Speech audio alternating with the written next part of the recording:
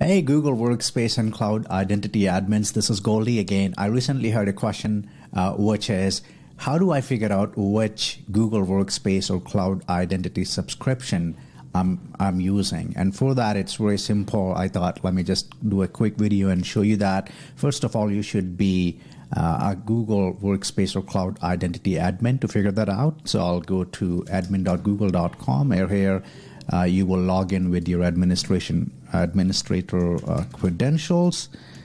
Okay, and once you are in your admin console, you will click on uh, billing and then you will click on subscriptions. And here you should be able to see all the subscriptions that you have. For example, here I only have cloud identity free subscription. If you need to purchase more subscriptions, you can of course click on uh, add or upgrade and you know you can sign up uh, for the subscriptions listed here.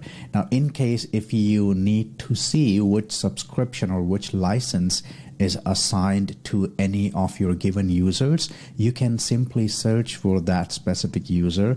For example, here, let's say if I search for myself, uh, I can go to the user's profile page and if you scroll down a bit here you will see licenses here okay? And when you click on that you will see that this user has been assigned a cloud identity free license. If you have multiple subscriptions, let's say along with Cloud Identity Free, if I also have Google Workspace Enterprise Plus and Cloud Identity Premium. And if I assign multiple licenses to any given user, those multiple licenses will be shown right here.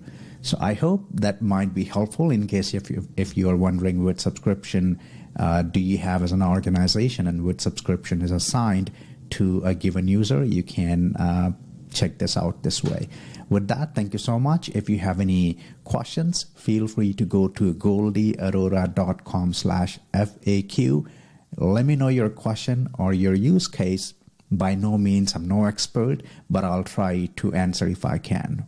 Thank you so much and have a nice day.